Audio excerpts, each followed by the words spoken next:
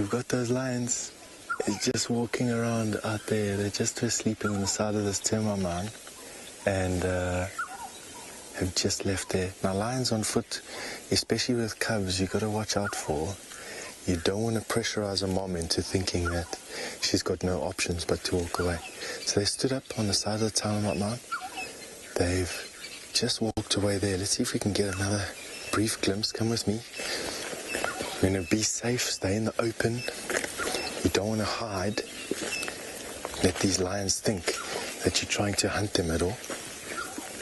It's 100% safe where we are now as long as we just respect their space.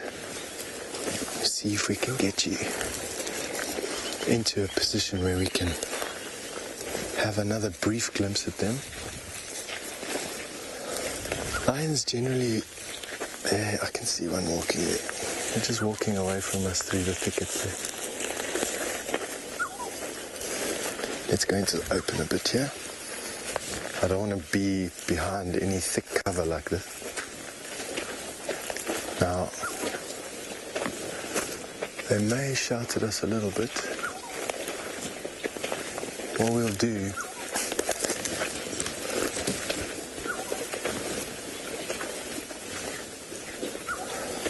is just get into this open patch here.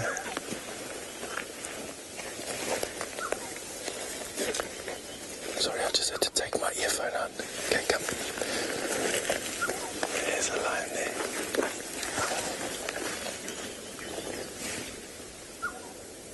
They're just keeping about a hundred yards or so in front of us, which is typical of lion. What will happen is they'll go into some thick bush and then they, okay, there's a female looking at us, Roger. Can you see her head? See the green grow- guarri? Just to the right of that. So come out a little bit. Got it. Ah, there we This is very obscure. So there's just that's the obscured vision of a lion. So you're not gonna get just got a face here. If you come left a little bit, you'll have a face underneath that green guarri, the green bush in the background. Just the ears pricked up, watching us. The moment the wind is blowing from us, excuse me, from them to us, so we're not overwhelming them with with scent, which is a good thing. Let's go on top of the terminal mine and see if we can see anything else here. We're not going to push them any further. We're going to call in vehicles. What you don't want to do is you don't want to create. You don't want to create a. Um, against that tree is the rest of them there standing there. What you don't want to do is create this feeling with lions that whenever they see people, that's a negative thing. What you what you want to try and do is always make sure that the lions are comfortable. And as you can see, those lions are lying down there. That is the thick bush that I was talking about. Mom has set up a perimeter there. She won't be going anywhere. So that is, this is how comfortable lions are on foot in the Sabi Sands today with this pride under these conditions. It's not the same every time. Now, just to remind you, this is live. This is as it's happening now. And we're standing on foot here. And we've just tracked them down. And very safe at the moment. The the reason for that is that you can see that those are youngsters. They're not running away from us, leaving mom between us and them. If we got any closer, we definitely elicit some sort of negative reaction. But right now, we can enjoy these animals on foot, which, let me tell you, is one of the most special things to do.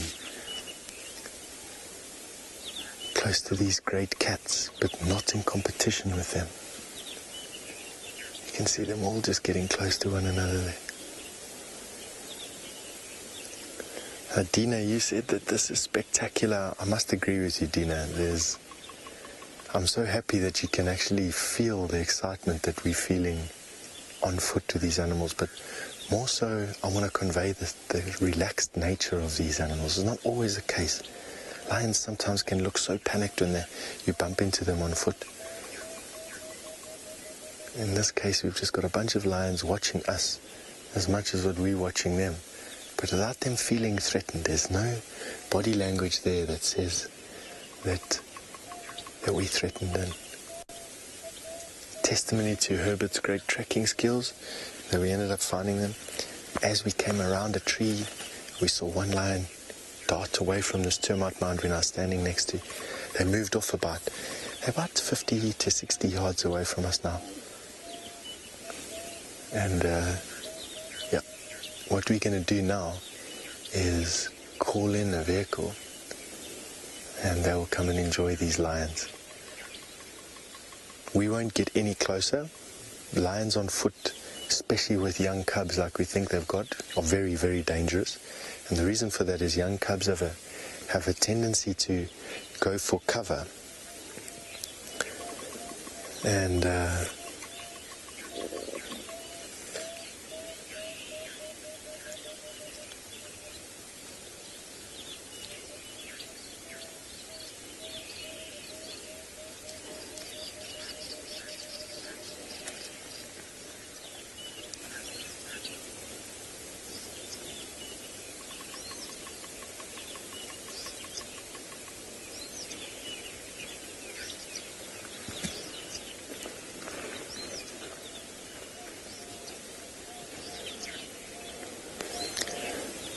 Welcome to all our new viewers and just to let you know, we are on foot here at Djuma Private Game Reserve. We've been on a bushwalk this morning. We've been tracking a pride of lions and we've just found them. They're lying on a termite mound watching us on that side. You can just see there a bunch of young lions. You can see their ears are pricked up towards us. Now just as a reminder, this is live right now. You're watching this with us out of the Kruger National Park and Djuma Private Game Reserve in South Africa. These young lions, which are, there are 14 of them in this particular pride with five adult females, were just enjoying the sunshine here in this early morning. It's just gone seven, just after seven o'clock. And they've probably been walking around most of the night hunting. We found their tracks a little bit earlier based on where we left them yesterday and walked in on them on foot. They got a bit of a fright as we arrived and moved off, but are feeling very secure in that thick bush over there and just testimony to how conservation in this area works, non-intrusive or non-invasive conservation. And these lions, they feel threatened, obviously enough to create some space, but not threatened enough to run away, and allowing us the pleasure of viewing them on foot and virtually undisturbed.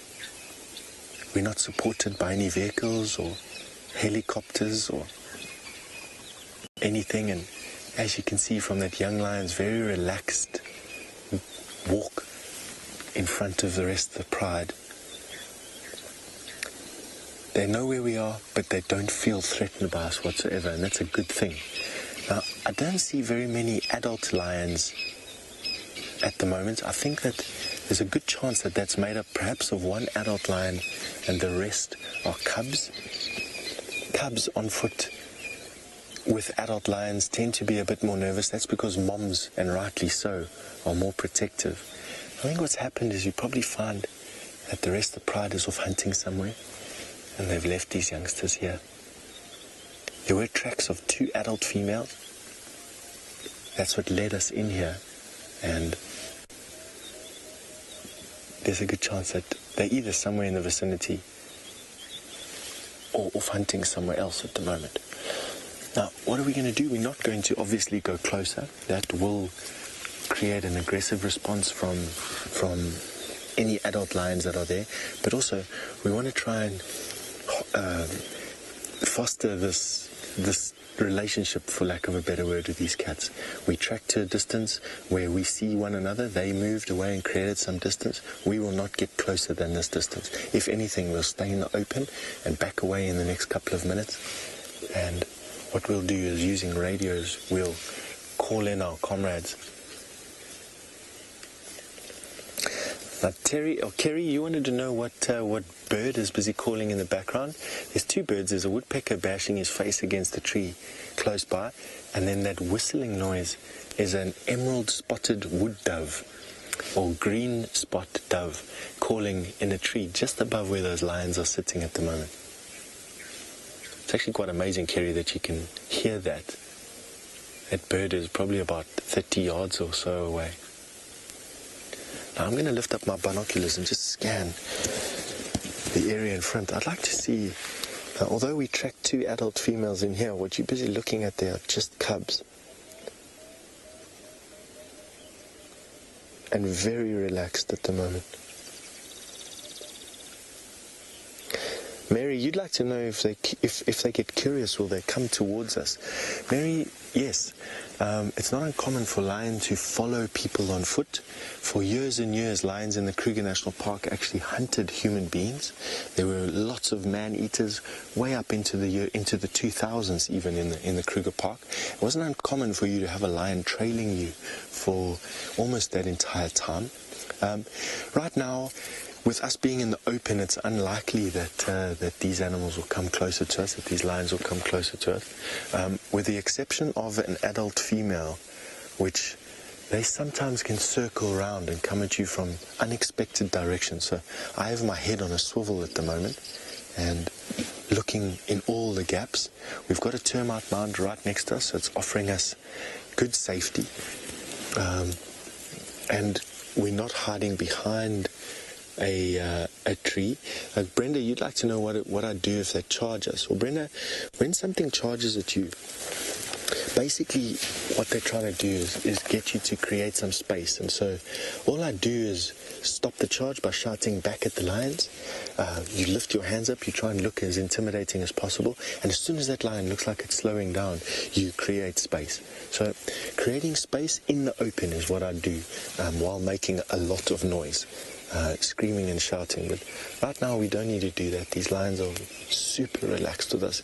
In actual fact, it's one of the best lion sightings on foot I've had in recent history.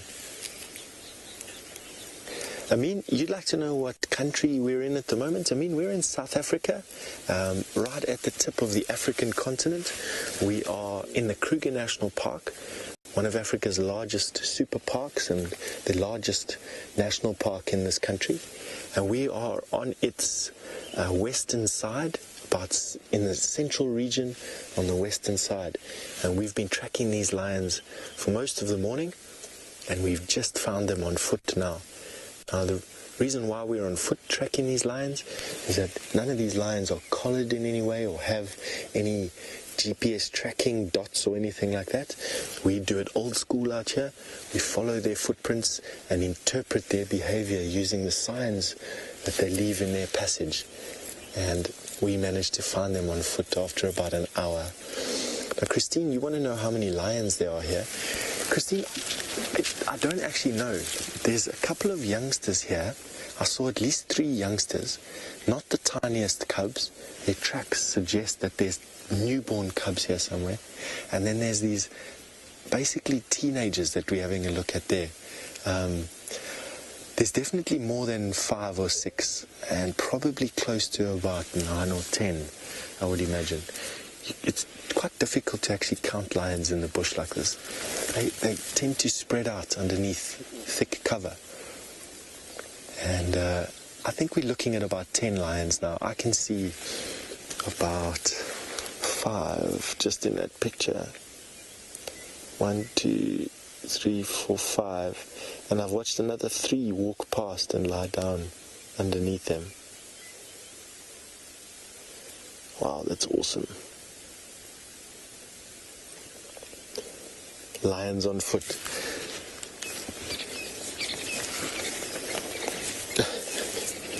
Uh, Chris, you say it's not the ones that you can see that worry, that worry you, it's the ones that you don't see. And Chris, I must echo your thoughts there down to the letter.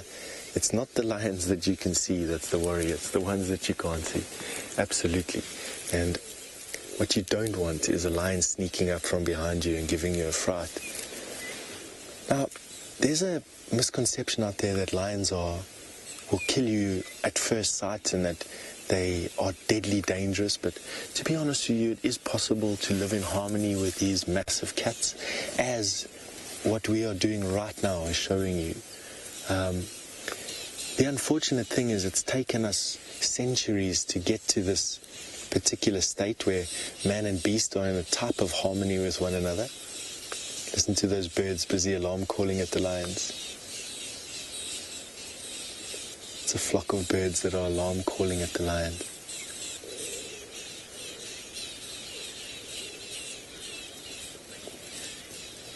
Carla, you want to know if the mother lion would feel threatened by us? She absolutely would. Uh, as I walked up to this particular position, this is the safest position for us to be right now. It's right next to a termite mound in the open. I was listening to her growling. There was a small growl that she gave, and then she moved off. I think the adult lioness is actually lying on the other on the other side of us at the moment. That was a good idea. I just needed to take my earpiece out to listen to what was going on over here. Um, the lions are now moving off. Um, there's a good chance that uh, the adult lioness moved off and doesn't see us at the moment. Now, Charlie, you want to know if the uh, if the lions are used to the safari vehicles in this area. Yes, they are used to the safari vehicles. For about 60 years now, there's been safari vehicles in this area, and these lions, generation upon generation of them, will have seen safari vehicles. We've got no vehicle close to us at the moment. We're in the middle of a block of bush surrounded by some roads, and uh, and these lions are lying up in the middle of the thick stuff in this middle of this block. We uh, we've got no vehicles to us now, but what we will do is we have a radio. We will call in our comrades in a couple of minutes and let them come and have a look at this sighting, giving us a chance to reverse out of here and leave these lines, which I think we're going to do before they move off too much. So what we're going to do is, using this termite mound as some cover, we're going to step away lightly and slowly, and we're going to leave these lines just for now giving us some time to create some distance. So we're going to show them that we're walking away by creating a little bit of distance in the open. And we're going to de-stress this particular we're going to de-stress this particular uh, sighting by creating some space and then we're going to call in bless you Via. we're going to call in some of our other comrades. All right, so for to our Facebook viewers, I just want to say thank you for joining us on foot to these lines in the middle of Africa. We'll see you again soon.